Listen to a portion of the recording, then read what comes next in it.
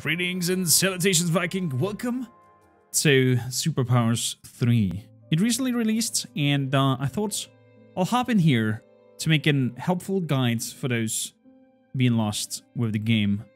And uh, with no further ado, we're just gonna hop into it. Superpower 3 is like a modern geopolitical sim uh, with uh, different setups that are happening on Earth, and you try to just, you know, do better or be the better politician. It has an interesting take in terms of uh, you are choosing what kind of nation you want. You're choosing the setting you want. Use a North Korea situation. Uh, we're gonna go for sandbox, and I will pick the my home country over here. We're gonna go with uh, R R. Where are you? Romania, and I shall be an uh, Democratic Alliance of Hungarian and Romania. Interesting. I shall be the People's Movement uh, difficult and normal. There's mods supports to it, and we're clicking next. What I do like here very much is that you are creating your own sort of avatar that represents you. I've uh, done mine already, although he's uh, looking very oldish here. So here, brown facial hair, brown, and I am a way younger. Hairiness, that's interesting. So you have a few options to like uh, modifying your persona and uh, having neat little looking avatars with different clothes, different uh, hairstyles, ethnicity where he's coming from, and uh, clothing that you can place on. But he kind of looks like me, so let's hop right into it. You start a game now. All modification will be saved. Yes, that's all good. That's all good. So, once it's loaded, it will uh, throw you right on top of your country. And uh, it told me I could be anything, so I became a loading tip. That is not very helpful, Mr. Loading Tip. That is not very helpful at all.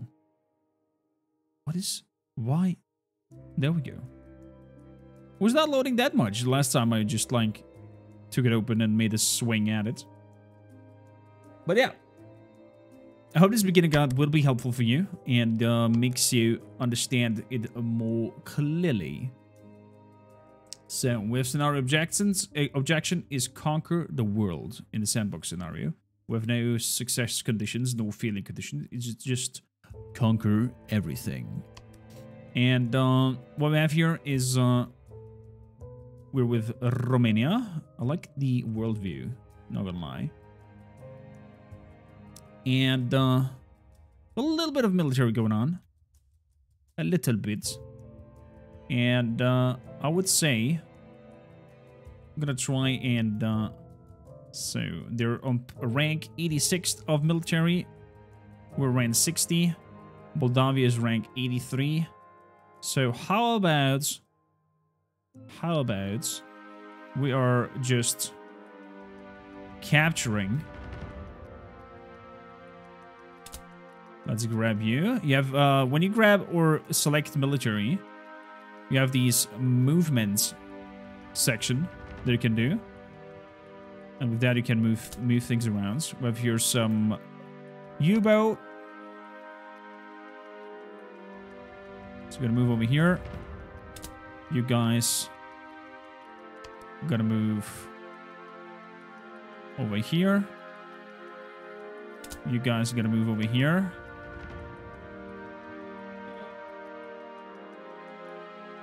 Oh, do I have to merge you? Merge units. Merge your units. Move them.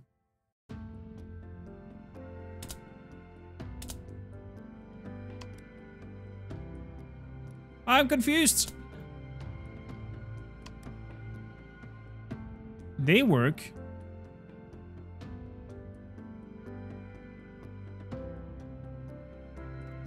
No, you're gonna stay there.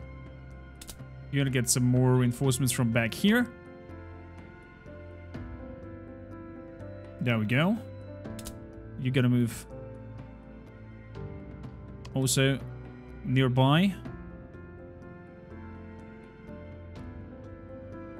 And then we're gonna grab this whole unit and tell you to merge.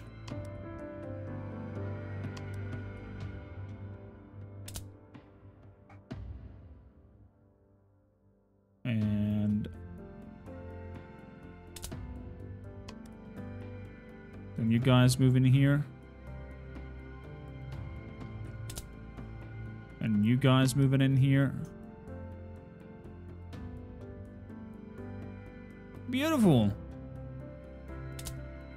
And tell you all to merge to one beautiful unit.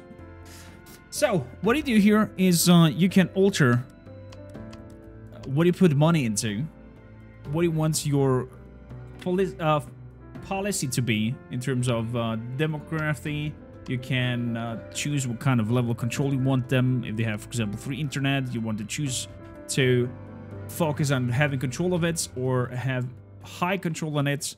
That will make your population like you less or more. Uh, then you have over here instability where you can decide what kind of things are legal, illegal, and accept it. Same goes for your money budget. You can decide in which kind of direction you want to spend money in. Uh, you can see what it costs you money. And of course, then over here in military, you can have uh, all kinds of secret services, forces to uncover and put money into. But UI and tutorial on this is sadly very terribly done. It needs highly improvements. There needs to be a tutorial that guides you through what you can do, uh, how to function things, and how they work. They just toss you in here not knowing what to do. And the only thing that I have really discovered is that I can click over here and start a war with Moldavia. And then uh, click over here and say the same with uh, my forces as well. And tell them to go and attack as well. And... Uh,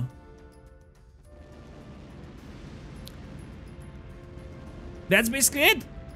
That is basically it. I cannot click on the other faction and interact with them in terms of political uh, interactions. I can only just invest my money into military forces, tell them to attack XYZ, and uh,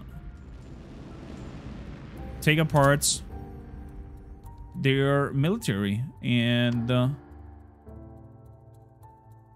that's it. That's it so far. That is all. So my guide is over. All I can tell you, deinstall the game and uh, hope and pray for a good introduction and some more features. This game feels very unfinished, although the in initial intention of it might be good approach. Graphically, is it's okay, it's okay, but in depth and mechanical wise, other than pushing some sliders back and forth and telling them how much to invest in things, there's not much to do. And of course, you know, waging war and move your soldiers around and do things. Uh, that is... that is basically it. And with that, I bid you farewell. And, uh, please, wait before you buy this game make sure to let it evolve more, and I hope they do. Because uh, the initial idea of it is intriguing, and is good, and I would like to play this, and I would like to love it. But I can't. I just can't. Until next time. Bye-bye.